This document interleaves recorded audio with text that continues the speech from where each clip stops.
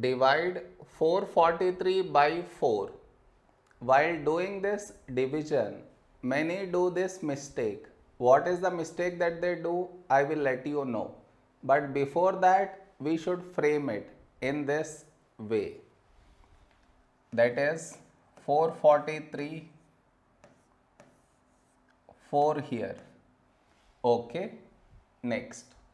Now here we have 4 and here also 4 when do we get 4 in 4 table? 4 ones 4 now you subtract. 4 minus 4 0 now you bring down the beside number. So 4 down. Now here we have 4 here also 4 when do we get 4 in 4 table? 4 ones 4 you subtract 4 minus 4 0 now you bring down the beside number so 3 down. This is where the mistake happens and the mistake is this. Here we have 3, here 4. 3 is smaller than 4.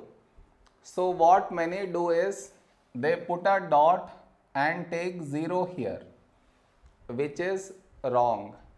Just now you brought the number down and in the same step you want to put a dot and take 0 here which is wrong. I repeat bringing the number down and putting a dot and taking 0 both at the same step you are not supposed to do.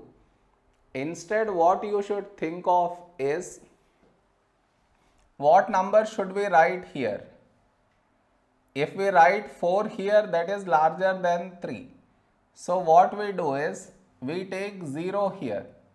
So 4 into 0, 0. Now you subtract 3 minus 0, 3. Over here we did not bring any number down and 3 is smaller than 4.